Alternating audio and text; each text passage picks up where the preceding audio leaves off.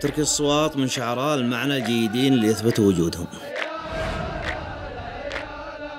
شاعر شاب نتأمل فيه خير ويتميز باللحون الزينة وأخذ جائزة المركز الأول في إحدى المسابقات باللحون ترك الصوات آه، قادم إلى الساحة.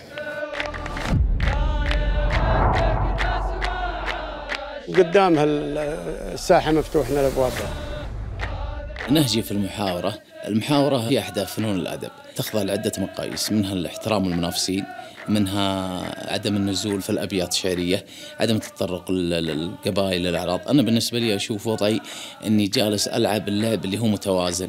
أحاول أني ألعب على المعنى اللي ما يكون فيه آه، انسياق الأشياء أخرى.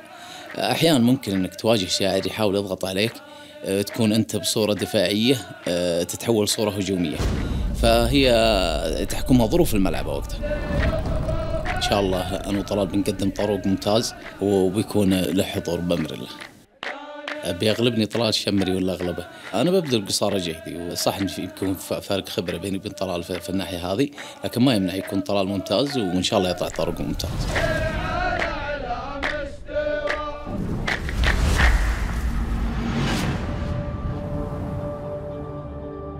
طلال الشمري ما قابلته ولكن اللي يسمع عنه من زملائنا إنه شاعر.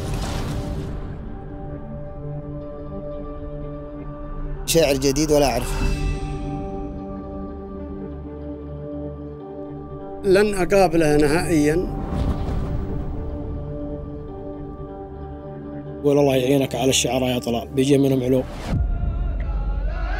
والله نظرة الشعر المحاورة أنه فن أصيل وموروث. أقرب ما يسمى أنه صار لجميع مناطق المملكة.